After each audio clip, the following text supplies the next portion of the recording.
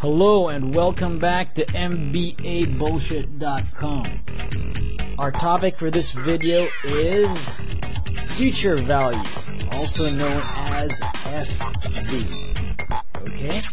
So, before anything else, remember that you can always go back to MBABullshit.com for free tutorial lessons for business students of college, BBA, or MBA or for executives who'd like refreshers on topics they may have already known in the past, or they just want to learn basic MBA concepts.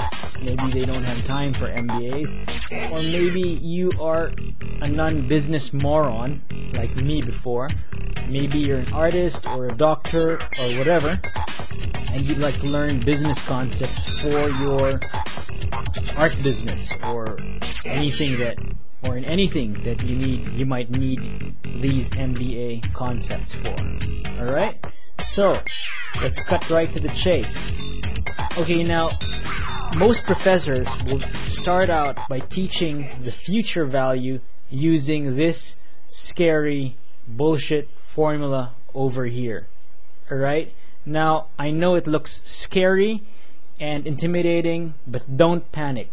I want you to first remove this formula from your brains for now. And instead, I want you to listen to a story. I'm going to tell you a quick story right now. Alright? Now, let's say that today I give you $200. Okay? I give you $200. And you use this $200 and you deposit it in a bank. Okay? You deposit it in the bank, and the bank will give you a 6% interest rate, and you keep your $200 in the bank for seven years. The question now is how much will you have after this seven years? Okay? I think it's quite easy. Well, maybe not yet. But uh, I'll tell you the answer, and the answer is you will have three hundred dollars. Okay, if you put two hundred dollars in a bank for seven years and you get six percent interest, then you will have three hundred dollars after that seven years. So the next question is how did I compute this $300? Did I just guess it? Or did I compute it? The answer is I computed it. So, what formula did I use to compute it? Well, it's very simple, and I used this formula, which we already saw in the beginning.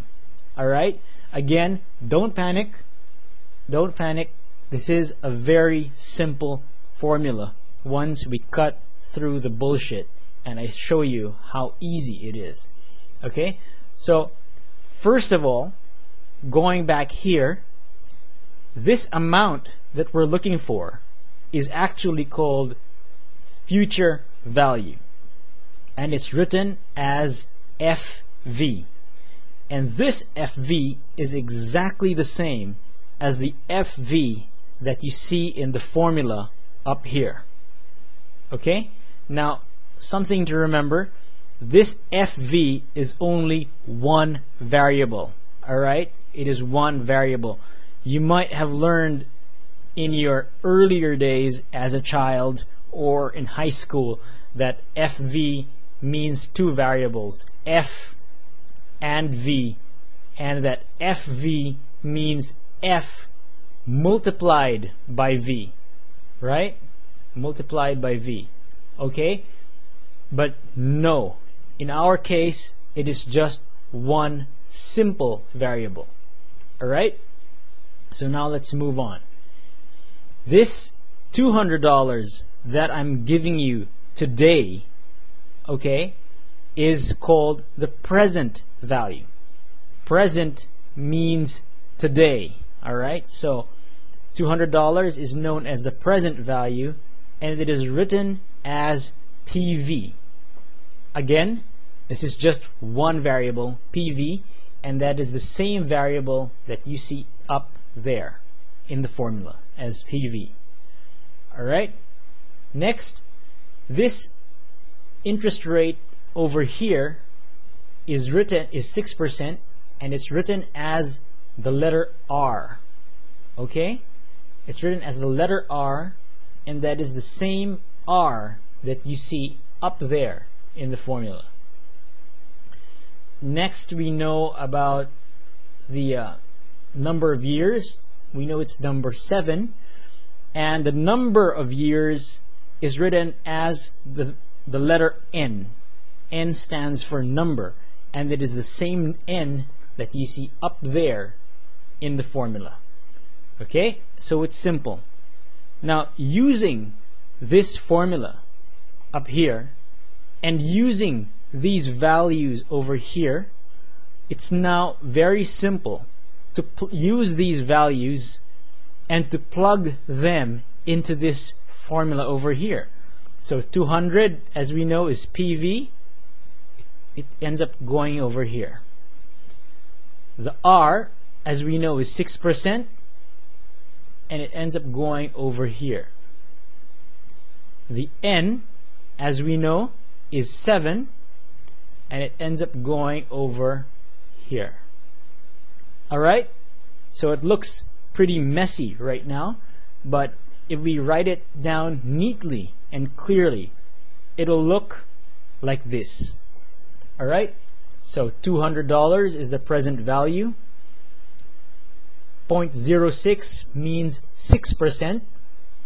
And the number of years was 7.